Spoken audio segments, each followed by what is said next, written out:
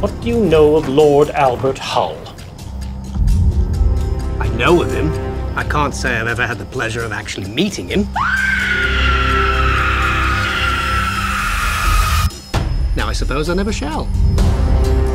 The perfect locked room mystery. Are you joking?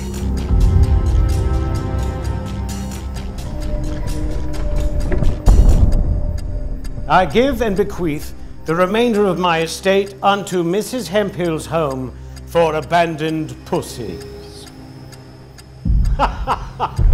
Perhaps Watson and I might first have a look at the scene of the crime? Shall I accompany you?